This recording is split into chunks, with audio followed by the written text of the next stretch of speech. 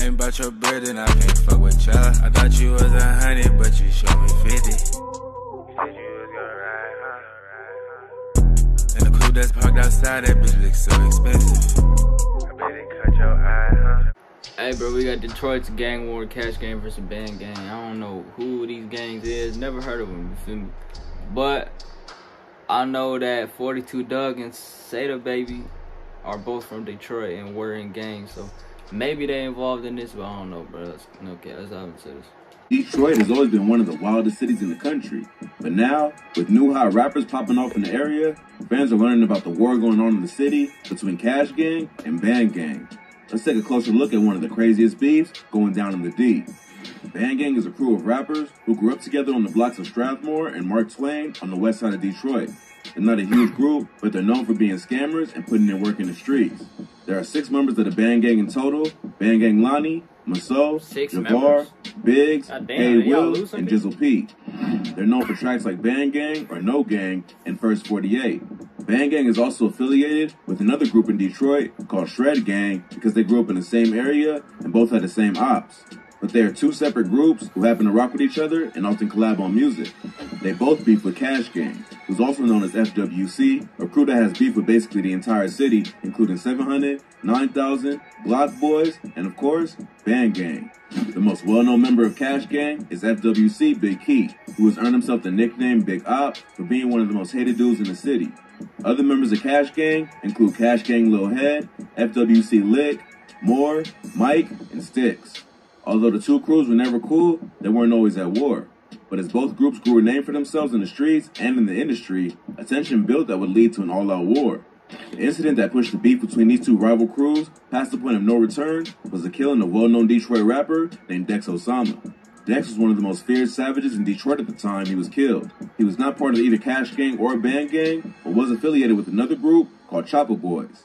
He was one of the hottest up-and-coming rappers from Detroit in the early 2010s. His career really started to take off around 2013 and earned him a deal with Meek Mill's Dream Chasers label. Many thought he'd be the next rapper from the D to blow up on the mainstream level and put the city back on the map. But Dex wasn't known just for his music. I get a he was also bike, famous bro. in Detroit for the work he put in on the streets. And when your name gets that big, you're bound to make a few enemies along the way. Dex ended up getting into it with Band Gang after dissing one of their fallen brothers, Band Gang Dada, aka Two Dots, who was killed in the alley back in 2015. Dada got into a fight with a man named Denzel Talbert, who ended up gunning him down. A rapper from Shred Gang named Shred Gang Moan broke down what happened to Dada in an interview with DJ Smallz Eyes. How did he pass away? He got killed. He got shot. He says that they were chilling on the block and one of their homies pulled up and asked if anyone wanted to go downtown. Moan says that he had a bad feeling about it, but they all went anyway. Cause I, I felt it. I'm like, no, we ain't going. But we end up still going. So that's the only regret I really got. Besides that, I'm live with the punches. They ended up crossing paths with Denzel Talbert and his crew and got into a fight. It's not clear what the fight was over, but the word on the streets is that Dada tried to snatch Talbert's Cartier buffs, so Talbert ran him down and killed him. Others say it was the other way around, but either way, two Band Gang members ended up getting shot, including Dada, who was killed. Dada was one of the founding members of Band Gang and a beloved member of the group. They mentioned Dada in many of their songs, like Dada's Winning by Band Gang Paid Will. Dex Osama had already been beefing with Band Gang and Shred Gang, and it's rumored that they had been in a shootout where his AK was shot out of his hand. After Dada was killed, Dex started using his death as a way to seek revenge on his ops by dissing their dead homie. Dex would drop a track called Jackboy featuring Rocane, where he spits the bar, right around town, one chopper. Two blocks hit him in his head, call him two dots. The disrespect of Dada didn't know, sit right with crazy. Band Gang, fat and it quickly that escalated the the beef shit. between them. Band Gang and Shred Gang would start dissing Dex in their own music and on social media.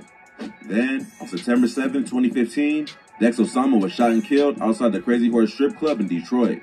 Two people have been shot, one of them fatally outside the Crazy Horse Strip Club. We are told that this started as an argument over a woman. Dex's girl was a dancer there. A He had female? gone to see her. He got into an argument with some other dudes who were trying to dance with her, and the situation escalated into gunfire.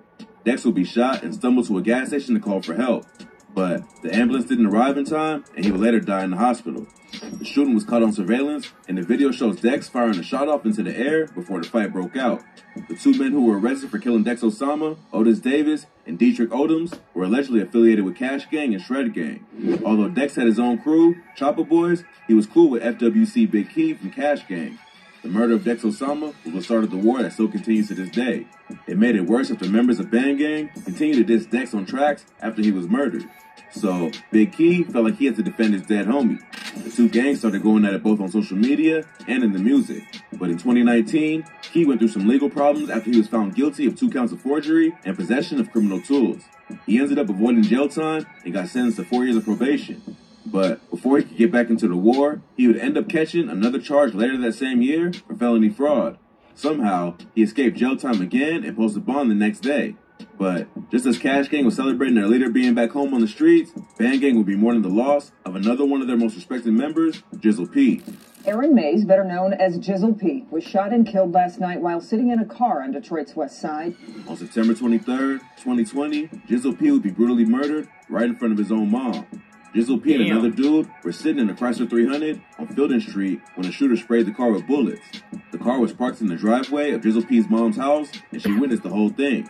But she says that the killer let off so many shots that the sparks blinded her from seeing who did it. 25 year old Aaron Mays was sitting in a car, the two of them cracking jokes, when someone ran up, firing so many shots at Mays. His mother says she couldn't see the suspect's face. There was so much muzzle flash from the gun. She would go on the news to mourn the death of her son, and Band Gang to seek revenge on whoever took their homie from them.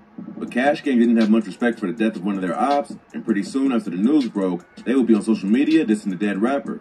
Big Key was the first to start the wild disrespect, laughing at Jizzle P's death on Insta Live, saying that he was getting an AR to smoke more ops. Yeah, Man, I'm finna go pick up my mother AR. I done got too many death threats. The rest of Cash Gang will follow his lead and clown the rapper on social media and take credit for the murder. It must have been a planned hit against Band Gang because Javar later revealed that he got shot on the same day at the same time as Jizzle P in a different location, but survived. No, that shit was Damn. And ain't nobody know about it either. Hey, if y'all enjoyed it, y'all enjoyed it. Appreciate y'all for watching. Love y'all. God bless you. And y'all finna see y'all, bro.